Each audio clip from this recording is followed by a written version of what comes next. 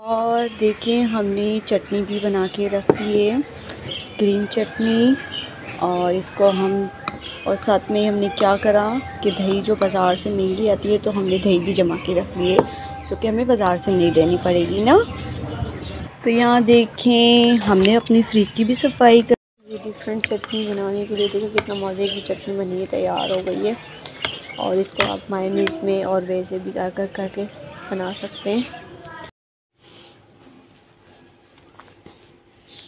इस तरीके से देखें, ये पुदीना मैंने बहुत सारा रमज़ान की वजह से मंगा के रखा हुआ है। और थोड़ा सा हरा धनिया है तो इसमें हम पुदीना और हर धनिया की चटनी भी बनाएँगे और रमज़ान में रायता वगैरह के लिए भी यूज़ किया जाएगा। तो ये कि चटनी अगर हम पहले से बना के रख देंगे तो हमें आसानी हो जाएगी। रमज़ान में काफ़ी मसरूफियात हो जाती है और काफ़ी काम होते हैं तो इस वजह से देखिए मैंने ये बहुत सारा पुदीना मंगा के रख दिया है। और इसको मैं सेव करने का भी आपको तरीका बताऊँगी। अगर आप रायते वगैरह के लिए करें तो वो आप ऐसे सुखा लें, इसको पहले वॉश कर लें।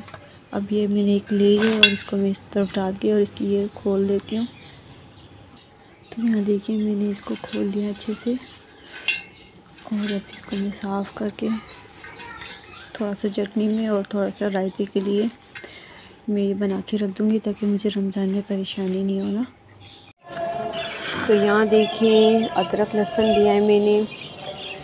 अदरक लिए मैंने, ये साइज़ में लहसुन लिए। हरा धनिया लिया बहुत सारा पुदीना लिया है। मोटी वाली लाल मिर्चें लिए। दो लेमन लेमन लिए। और ये लंबी वाली भी हरी मिर्चें लिए मैंने। तो आज मैं ग्रीन चटनी बना रही हूँ। मैंने क्या करना है, ये हरा धनिया जो लेना है ना, वो इसमें डाल देना है। पुदीना भी डाल देना है। और इसको हमने थोड़ा सा बारीक बारीक कटिंग करनी है ना। तो पहले हम ये हरी मिर्ची डाल देते हैं।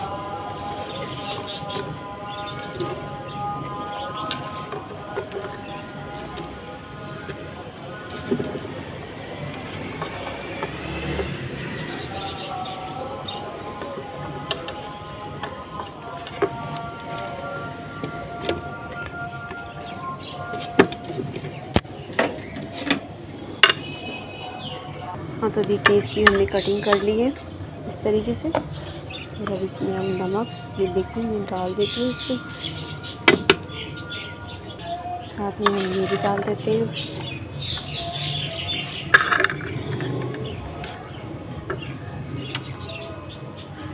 हाँ तो देखिए, ये मैंने लेमन जूस निकाल के रखा हुआ था तो यहाँ देखिए मैंने ये लेमन जूस निकाल के रखा हुआ था, ये मैं थोड़ा सा डाल देती हूँ इसमें।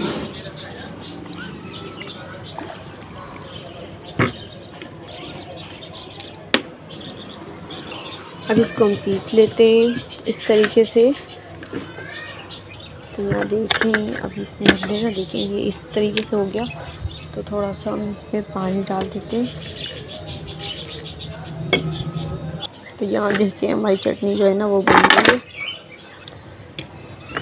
मैं इसको साइड में आपको निकाल के दिखाती हूँ।